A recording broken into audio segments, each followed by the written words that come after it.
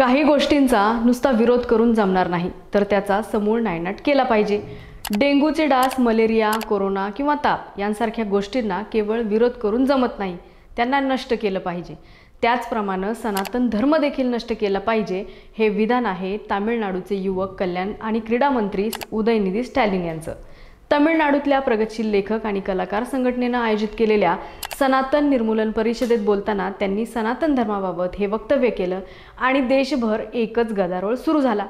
एक सप्टेंबर रोजी चेन्नईतल्या कामराज मैदानात उदयनिधी स्टॅलिन यांनी भारतीय मुक्तीसंग्रामातील आर एस एसचं योगदान या विषयावरील व्यंगचित्राच्या पुस्तक प्रकाशन समारंभात हे वक्तव्य केलं. आणि नेमका हा वाद सुरू झाला. आता हा नेमका वाद काय आहे? सनातन धर्म म्हणजे नक्की काय? याबद्दलच्या आख्यायिका काय आहेत? वेद पुराण याबाबत काय सांगते?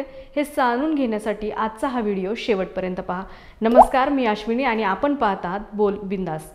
उदयनिधी स्टॅलिन हे तामिळनाडूचे मुख्यमंत्री एम के स्टॅलिन यांचे पुत्र आहेत. स्टॅलिन यांनी सनातन धर्माबाबत केलेल्या या विधानावर महाराष्ट्राचे मुख्यमंत्री एकनाथ शिंदे यांनीही सडकून टीका केली.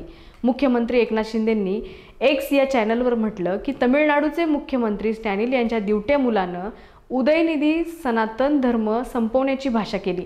असे अनेक स्टॅलिन येतील आणि जातील पण सनातन धर्म हा पृथ्वीच्या अंतापर्यंत कायम असेल.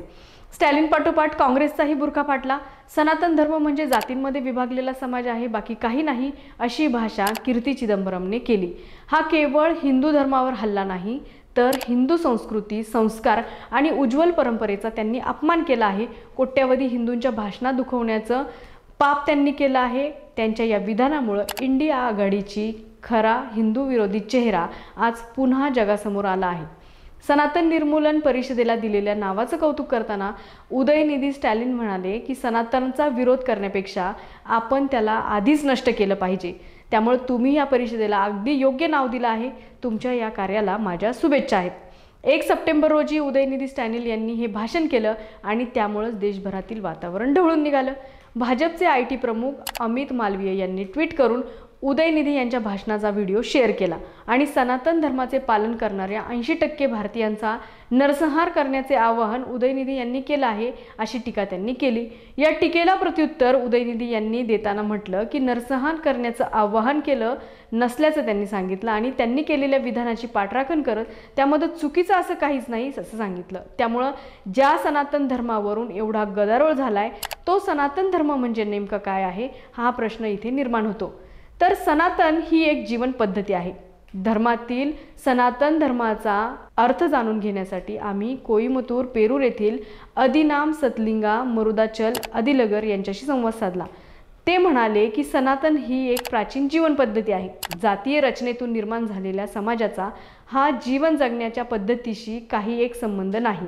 सनातन धर्म ही एक प्राचीन संस्कृती आहे. जीवन जगण्याचा तो एक मार्ग आहे. आपल्या देवांचा आपल्या आईवडिलांचा आदर केला पाहिजे प्रत्येकाशी प्रेमानं वागलं पाहिजे असंच या धर्मात सांगितलेलं आहे. रुदाचल अधिगर यांनी सांगितलं की विविध नैतिक आणि धार्मिक ग्रंथांमध्ये सनातन मार्गाचा उल्लेख आहे. हिंदू धर्म याच सनातन मार्गाचे विस्तारित रूप असल्याचंही ते म्हणाले.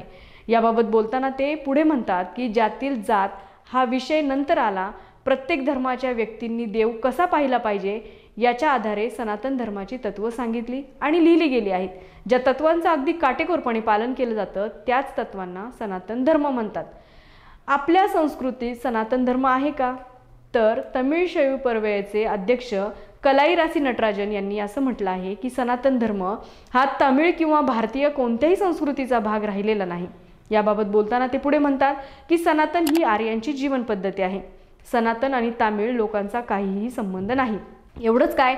तर सनातन आणि मूळ भारतीयांचा देखील काही संबंध नाही आहे सनातन धर्माचा विरोध करण्याची कारणं अशी आहेत की सनातन केवळ जगण्यातला नैतिकतेचा उपदेश करतो पण वर्णाश्रमाच्या आधारे समाजात फूट पाडायला मात्र सनातन धर्म विसरत नाही. सनातन धर्म वर्णाश्रम व्यवस्था मनुधर्म या व्यवस्थे मानवतेच्या विरोधात आहेत हे ते मान्यच करत नाहीत. सनातन धर्म नष्ट करायला हवा का? या प्रश्नाचं उत्तर देताना ते म्हणतात जर एखादी गोष्ट लादली गेली तर तिचा नायनाट केला पाहिजे. आर्यांद्वारे पाळला जाणारा सनातन धर्म हा प्रत्येकावर लादला जातोय. त्यामुळे सनातन धर्म नष्ट करणं हा एकमेव पर्याय आहे. पण इतक्या सहजासहजी ते शक्य नसल्याचंही त्यांनी सांगितलं आहे. कलाई रासी नटराजन म्हणतात की आणखीन किमान शंभर वर्ष रात्रंदिवस एक करून जागृतता निर्माण केली तरच हा धर्म आणि जाती व्यवस्था निर्मूलन केलं जाऊ शकतं. प्रत्येक धर्मात सामाजिक व्यवस्था असतेच. ईस्टर्न एडिशनचे प्रकाशक बद्री शेषाद्री म्हणतात की जात आणि धर्म याबाबतच्या अडचणी प्रत्येक धर्मात असतात आणि हिंदू धर्मही त्याला अपवाद नाही आहे बद्री शेषाद्री यांनी असं म्हटलं आहे की इतर धर्मांप्रमाणेच हिंदू धर्माचं पालन करणाऱ्या समाजातही अनेक समस्या आहेत. वेगवेगळ्या काळात वेगवेगळ्या धार्मिक गुरूंनी अशा समस्यांचा सामना केला आहे.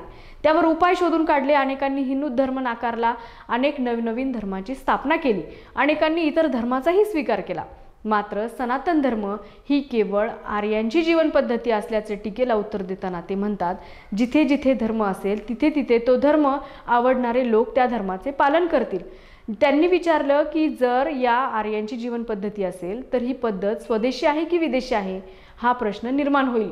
बौद्ध आणि जैन धर्मांची स्थापना उत्तर भारतातच झाली होती का? इस्लाम धर्माची स्थापना अरबस्तानात झाली होती का? आणि ख्रिश्चन धर्माची स्थापना पश्चिम आशियामध्येच झाली होती का? याबाबतही अनेक वाद आहे. तोलकपियम सारख्या अनेक प्राचीन तमिळ ग्रंथांमध्ये याचा उल्लेख आहे.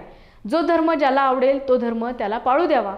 नैसर्गिक नियमांच्या आधारे नैसर्गिक नियम बनवू नयेत. बी बी सीने कार्यक्रम हा आयोजित केला होता. या कार्यक्रमात प्रगतशील लेखक आणि कलाकार संघटनेचे सरचिटणीस आधवन दितिस्न्या यांनी संवाद साधला. ते म्हणाले आजही जर आपण प्राचीन पद्धतीने जगत असतो तर सध्याचे राज्यपाल आर. एन. रवी तमिळनाडूचे राज्यपाल झालेच नसते. एवढेच काय? तर आपले पंतप्रधान नरेंद्र मोदी हे देखील देशाचे पंतप्रधान झाले नसते. ज्याप्रमाणे पाणी हे खालच्या दिशेने वाहत जातं आणि आग ही वरच्या दिशेने जळत जाते हा ठराविक नैसर्गिक नियम आहे. अगदी त्याचप्रमाणे सनातन धर्म देखील आयुष्य जगण्याचा एक ठराविक आणि कधीही बदलू शकणारा मार्ग सांगतो. मात्र नैसर्गिक नियम कधीही बदलू शकत नाही आणि त्याच धर्तीवर सामाजिक नियम बनवले जाऊ शकत नाहीत हे सांगताना देखील ते म्हणाले की जर हे नियम बदलले तरच राज्यपाल आणि पंतप्रधान कधीही शाळेत जाऊ शकले नसते. या विषयीच्या शोध निबंधामध्ये काय सांगितलं आहे की एकोणीसशे सोळा बोर्डामध्ये वाराणसीमध्ये असणाऱ्या केंद्रीय हिंदू महाविद्यालयातील बोर्डानं असं म्हटलं होतं की सनातन हा आर्य धर्म आहे. या पुस्तकात सनातन धर्माची ओळख करून देताना असं सांगितलं गेलं की सनातन धर्म हा चिरकाळ टिकणारा धर्म आहे. प्राचीन कायद्यांवर जर धर्मांची रचना केली गेली आहे तर अनेक वर्षांपूर्वी पुरुषांनी केलेल्या उपदेशांवर आधारित हा धर्म आहे. याच धर्माला आर्य धर्म म्हणतात. आर्यांनी दिलेला हा पहिला धर्म आहे. सनातनवरील हा या अभ्यासात हे नमूद केलं गेलं आहे की सनातनचा आधार श्रुती आहे. देवतांकडून मंत्रोच्चार करून ऐकलेल्या पूर्वजांनी माणसाला सांगितलेला धर्म म्हणजे श्रुती. श्रुतीमध्ये चार वेदांचा उल्लेख केला गेला आहे वेद म्हणजे ज्ञान. हिंदू धर्माचा पाया म्हणून वेदांना मान्यता आहे. या धर्माचे पालन करणाऱ्या माणसांना चार वेदांप्रमाणे जगण्याचा सल्ला दिला गेला आहे ऋग्वेद सामवेद अथर्ववेद आणि यजुर्वेद असे चार वेद आहेत हेही त्या पुस्तकात लिहिलं गेलं आहे एकूणच काय सनातन धर्म आपली संस्कृती या चिरकाल टिकणाऱ्या एक प्रकारच्या व्यवस्था आहेत. या व्यवस्थांनी समाजाला एक आकार दिला आहे.